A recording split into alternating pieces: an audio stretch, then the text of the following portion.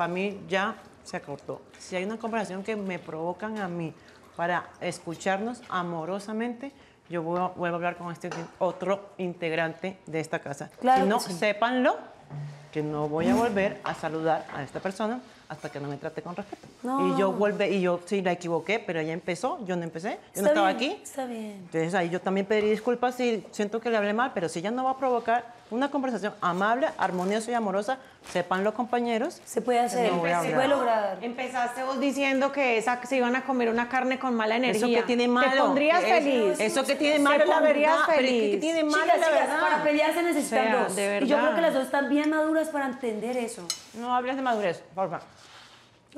Mira, tú imagínate, deliciosa. te estoy contando a ti una cosa. No tiene nada que ver con esta señora que está allá. Ok.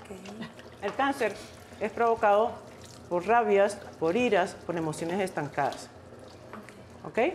Un día le dije a una señora, señora, usted tiene cáncer porque está llena de rabia por dentro. Las emociones se estancan. Yo la estaba ofendiendo. No la estaba ofendiendo, le estaba, yo ayer no le dije, ¡ay!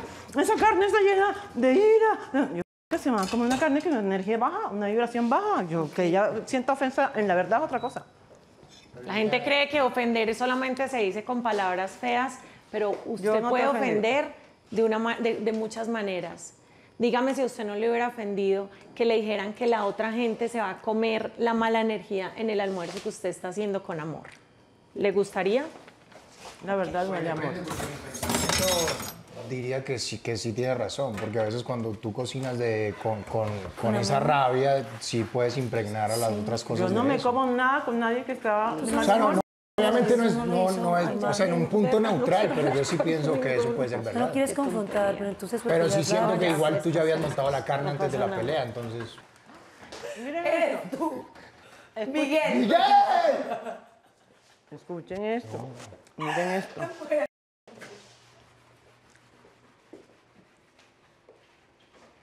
Catherine, perdóname por favor, porque Tian tiene razón. La carne ya estaba hecha desde ayer, las papas ya estaban hechas desde ayer. O sea, Sebas, el otro, involucró sus manos en las papas. Yo te busqué allá y te dije, no quiero meter las manos en papas porque pues son otras personas o tú solita la que estás haciendo. Entonces, porfa, te pido perdón porque realmente tu momento es lavando eso y no tocando la comida, ¿viste? ¿Me perdonas, porfa? Sí, señor. ¿Te puedo abrazar? Sí. Lo siento si te causé mal momento.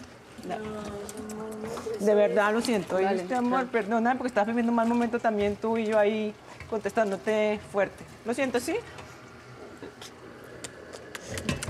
Gracias. Mm, Sí, yo sé, amor. Gracias por el mensaje, papi.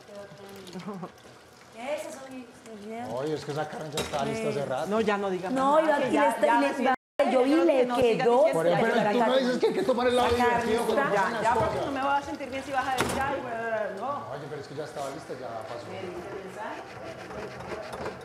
¿Te perdiste algo de la Casa de los Famosos Colombia? Ponte al día de una con la app de VIX. Encontrarás todas las galas anteriores, repeticiones de la previa y el after show. No te pierdas nada. La casa, la casa, la casa, la casa de los famosos Colombia. Descarga la app de VIX ya. ya.